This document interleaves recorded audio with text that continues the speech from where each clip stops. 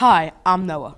And I'm Angelina, and we are students in the high school broadcasting class. And this is a special student orientation episode of The Sailor Station.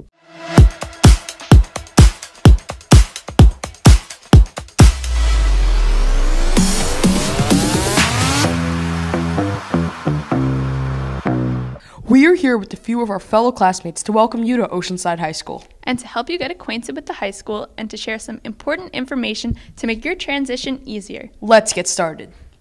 There are many reasons why parents and guardians might need to come to the high school, and when you do, you need to check in at the front security desk. Everyone needs to show ID and sign into the building when they get here, and please have your ID with you. If you need to see a teacher, administrator, or guidance counselor, please call ahead and schedule an appointment. Otherwise, they might not be available, and you'll have to come back at a different time. Hi, I'm Dana, and this is Justin. Justin, what are you doing? I've been practicing my card swiping skills. Been practicing all week. Haven't been on time to school once. Why? Because you have to show your ID when you enter or exit the building. You also need to swipe your card when you come into school late. You also have to swipe if you are a 9th or 10th grader when going to lunch. And you need to check out books and resources from the library. What happens if you lose your ID? Don't worry, you could always see Mrs. Sartori in the library and pay a small fee to get a replacement card. Hey, Justin, do you know what's in the library? Oh, come on, Dana, at least give me a challenging question next time. Books and magazines to read? Yes, but what else? Computers and printers to do research? Of course, but what else? Uh, students and tutors quietly meeting to do their homework? Yes, but it is also home of the Media Center. Of course! If you are having a problem with your iPad, like an app isn't working, or just have questions about your iPad, there are several technology specialists who can help you. Thank you very much. I'll fix this right away. But remember, there are some things that even they cannot fix. So make sure you sign up for the iPad insurance. If you're not feeling well, you can go to the nurse's office. Remember, only go there if you are actually sick. It is not a place to get out of class and hang out with the nurses. If you're sick and need to go home, a parent or guardian needs to sign you out. You can't just leave? No, a parent or guardian needs to sign you out. Another important thing to remember if you play sports or plan on playing a sport, give the nurses a copy of your physical.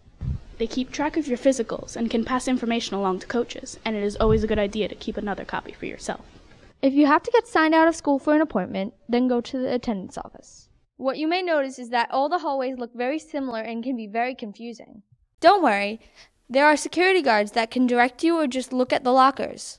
If you see blue lockers, you are in the north wing. If you see green lockers, you are in the south wing. And there are always signs that can direct you. This is only a highlight reel of some of the important things that you need to know. If you have any questions, you can always talk to your guidance counselor. But the best advice I can give is to get involved. And one of the best ways to find out what's going on is going to student activities to speak with Mr. Turk. Good evening, future high school parents. Thanks for coming. I hope you're enjoying the presentation. Student activities is one of the best things that we have here in the high school, but I'm completely and totally biased. My name is Mr. Turk. I am a social studies teacher as well as a student activities director. Please let your children know that we have so many events that everybody can find something that they want to be involved in. In the beginning of the year, we'd start registration for Battle of the Classes. So you'll receive an email from me asking if your children want to sign up for Battle of the Classes.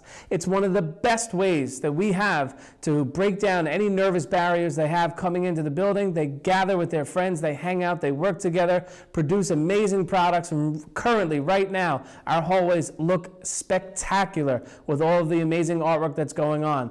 And that culminates all the way through into January, where our final Battle of the Classes event goes on. It's a full half year of stuff for our kids to get involved in and enjoy the high school. Our clubs, there's about 40 clubs that we run, so there is definitely an interest, a place for your child to actually come here and find their interest in no time. We have a club fair. We have so many different opportunities. Please email me, call student activities, ask any questions to make sure that your child has the best four years they possibly can because of student activities and everything else our amazing high school has to offer.